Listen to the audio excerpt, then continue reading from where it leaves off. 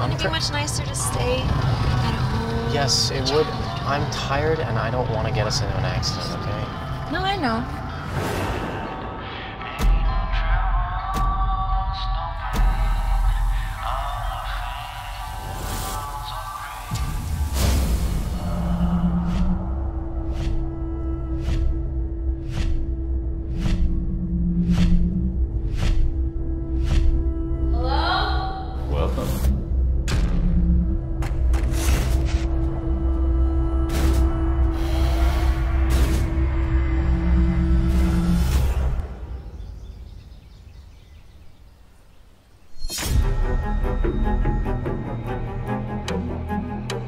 The fuck's going on here?